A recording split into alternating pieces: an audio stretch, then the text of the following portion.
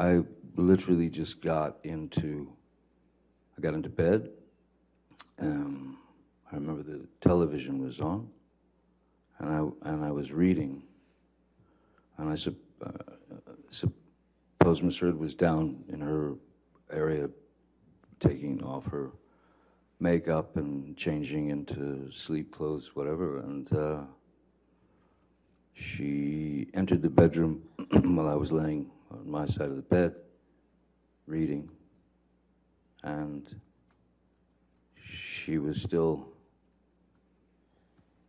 rattling off all the wrongs I'd uh, done to her in that particular day and, and how unreliable I am and uh, what a, you know, what a horrible person I was. Um, and I, and I did not, I did not engage verbally, nothing. I sat there or laid there reading my book. And when that, when she didn't get a jump out of me or a jolt out of me. She got out of bed. She walked around the bed. She came to my side. And uh, again, you know, you, you, you've got uh, you've got a person who is uh, throwing multiple shots at your at your face, at your head, at your neck, at your at anything she could hit. So I, I got up out of bed and I grabbed her by the shoulders and I sat her down on the bed.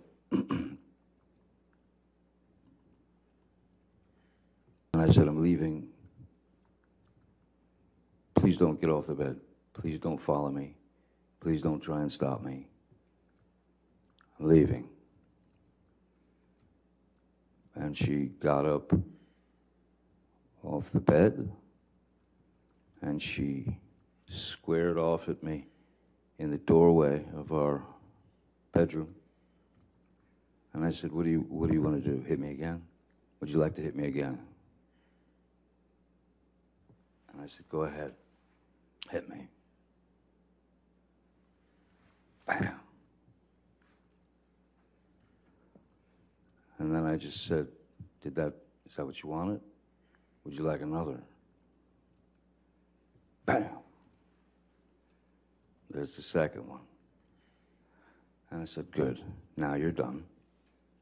Grabbed her by the shoulders, walked her to the bed, sat her down, and said, Don't follow me.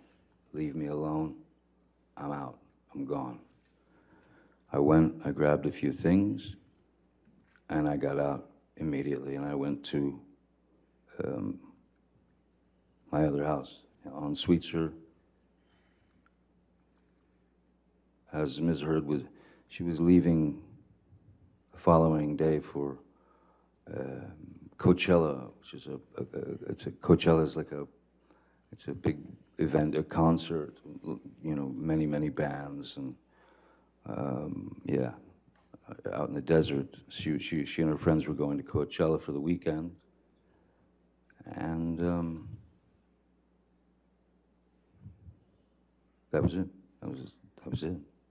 Mr. Depp, after April 21st, 2016, when was the next time that you actually saw Ms. Heard in person? I left Miss Heard, well, I left Penthouse 3. I left at 4.30 in the morning uh, on, it was actually April, it was actually her birthday. It was 4, about 4.30 in the morning, April 22nd. And that's when I left. And from that moment on, I did not see Ms. Heard until May 21st. And why was that? Um, I had received some news that was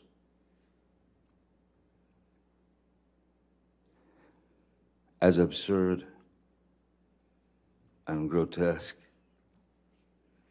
and cruel. Um, and then I was shown a picture of what the problem was. I had gone to Mr. Bett and said, uh, she's in Coachella, she's at Coachella. I think it's a good time to go downtown so that I can get some of my things, you know, and uh, get them out of there, especially the things that were precious uh, to me, you know, children things, things from friends, Brando, Hunter, Thompson, whatever, things that were important to me. And he said, I don't think now's a good time to go. And I thought, it's the perfect time. She's not going to be home for two days. And then he showed me a photograph on his telephone of, uh, Objection, Your Honor. Also hearsay. It's, it's a photograph, Your Honor. As being relayed to him by Mr. Bett. He, he says he looked at it on his, pho- on his phone. I'll overrule the objection as the photograph. What was the photograph of, Mr. Depp?